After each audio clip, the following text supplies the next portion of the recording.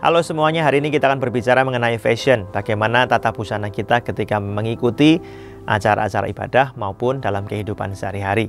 Jemaat di Korintus ini sedang bingung. Ya, mereka bertanya kepada Paulus, eh kalau kita ini punya pertemuan-pertemuan ibadah harusnya berpakaian itu seperti apa ya? Mana yang sopan ya? Kira-kira begitu. Dalam ayat 13 sampai 15 Paulus berkata begini, "Pertimbangkan sendiri, patutkah perempuan berdoa kepada Allah dengan kepala yang tidak bertudung? Bukankah alam sendiri atau maksudnya adat, ya, adat di lokasi di mana kamu tinggal, menyatakan kepadamu bahwa adalah kehinaan bagi laki-laki jika ia berambut panjang, tetapi bahwa adalah kehormatan bagi perempuan jika ia berambut panjang? Sebab rambut diberikan kepada perempuan untuk menjadi penudung. Nah, saudara, fashion atau cara orang berbusana itu dari suku yang satu dengan suku yang lain, dari orang yang hidup di belahan dunia A dengan belahan dunia B itu berbeda-beda, iklimnya beda ya bahkan di tempat yang sama tapi dalam rentang waktu yang berbeda pun norma kesopanannya juga berbeda-beda kita nggak berpikir jauh-jauh lah di Indonesia kita lihat ada banyak suku ya cara berbusana dari suku A dan suku B, suku C sampai suku yang lain-lain tentu saja berbeda-beda mana yang pantas bagi mereka itu berbeda-beda. Nah, kita nggak bisa berkata bahwa cara berpakaian suku yang satu dengan suku yang lain lebih baik atau lebih buruk.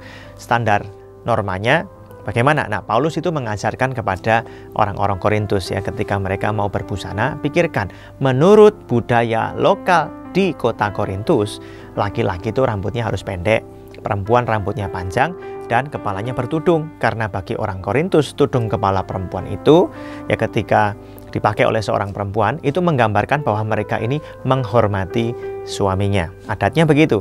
Nah, kalau seorang perempuan atau seorang laki-laki yaitu nggak ngikutin aturan itu, misalnya laki-laki rambutnya panjang, perempuan rambutnya pendek, nggak mau pakai tudung, itu tidak pantas bagi orang-orang di kota Korintus. Maka Paulus menganjurkan ketika engkau berpakaian, ketika engkau ya uh, dalam kehidupanmu sehari-hari atau bahkan dalam acara ibadah, pikirkan mana yang sopan ya sesuai dengan konteks di mana lokasi di mana engkau tinggal. Nah, saudara sekalian, jadi pada saat kita melayani Tuhan, kita nggak bisa memaksakan satu budaya tertentu di dalam budaya kita yang ada di sini. Kita harus berpikir misalnya begini ya, kalau saya nih sebagai seorang hamba Tuhan, memberitakan firman Tuhan, apakah harus pakai jas? Tentu tidak. Jas itu kan budaya sopannya orang barat. Apakah saya boleh pakai batik? Tentu saja boleh, karena ketika saya sedang melayani di kota tempat saya tinggal di Pulau Jawa ini, batik juga merupakan pakaian resmi. Ya, saya menghormati Tuhan dengan pakaian yang saya kenakan. Saya juga menghormati jemaat yang mendengarkan uh, khotbah yang saya sampaikan dengan pakaian yang saya kenakan. Dengan kata lain, Paulus sedang mengajarkan kepada kita bahwa kita harus mengupayakan yang terbaik ya ketika kita berbusana. Jangan sampai cara kita berbusana itu tidak menghormati Tuhan dan tidak menghormati sesama.